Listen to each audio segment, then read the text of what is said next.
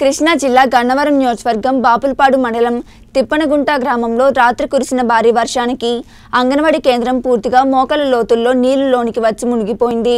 పిల్లలకు సంబంధించిన బుక్స్ కానీ వస్తువులు కానీ పూర్తిగా నేట మునిగిపోయాయి. తిప్పనగుంట గ్రామ ప్రజలు బకెట్లతో వర్షపు నీరుని బయటకు తోడుతున్నారు. ఎప్పుడు వర్షం వచ్చినా స్కూల్లోనికి వర్షపు నీరు చేరుతుందని గ్రామాల్లో ఉన్న ప్రజలు ఆవేదన వ్యక్తం చేస్తున్నారు.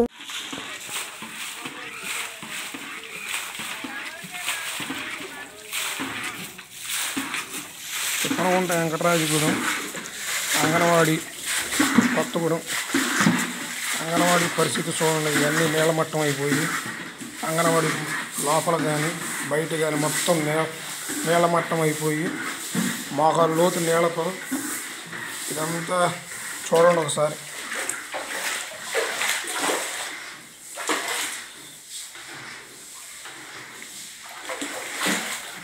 మన విలేజ్లో పిల్లలు ఈ రకంగా నీళ్ళు ఉంటే పిల్లలు ఎలా చదువుకోవాలి ఎలా ఉండాలి?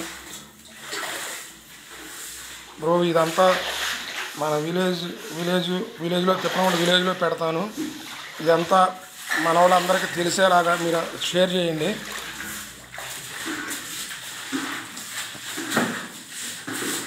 షేర్ చేసి మన పిల్లలకి మంచి భవిష్యత్తుని మీరు చదువుకున్న వాళ్ళు ఉన్నారు కాబట్టి దీన్ని ఏదో రకంగా ఎమ్మెల్యే గారికి తెలిసేలాగా చేసి మీరు కూడా ఏదో రకంగా ఈ అంగన్వాడీ మీద కొద్దిగా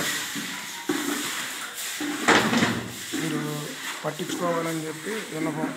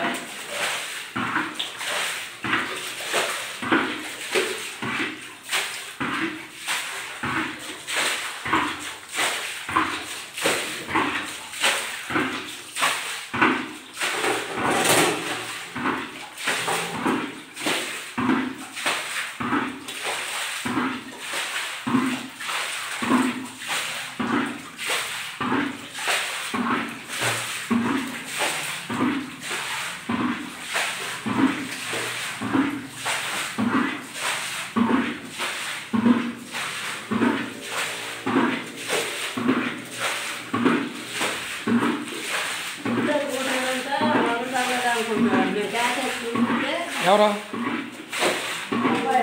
ఆ,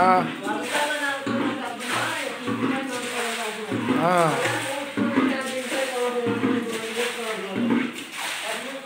ఏమ్మా అదే అర్థం కాదా ఆ వరండా దీని మీద పొలం ఇది కూడా నిండిపోయింది రా నాకు అర్థం కాదు